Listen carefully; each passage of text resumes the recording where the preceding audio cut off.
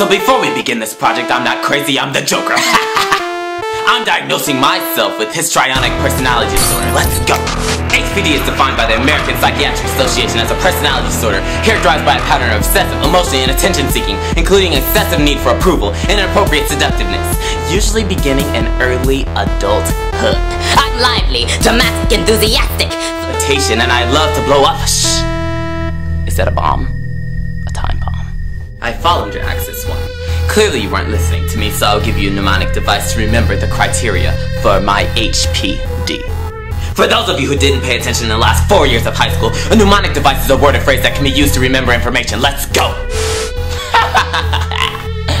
P for provocative or seductive behavior. R for relationships considered more intimate than they are. A for attention must be at the center of attention at all times. I influence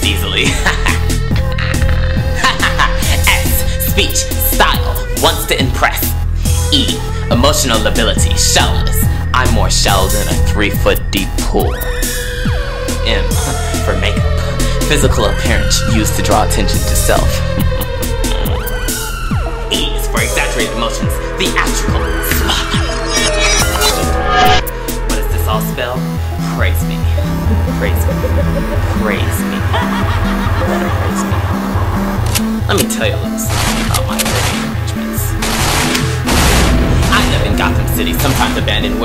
rundown apartments, jail cells, are my personal favorite. Batman thinks he can catch up to me, but I have this, just remember that. I'm always 100 steps ahead.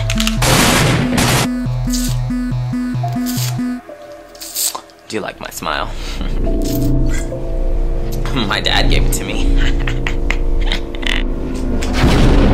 I don't get much sleep. That's due to my father's abuse to my mother when I was little. I enjoy staying awake and watching you. I hope you enjoyed. Here's your surprise.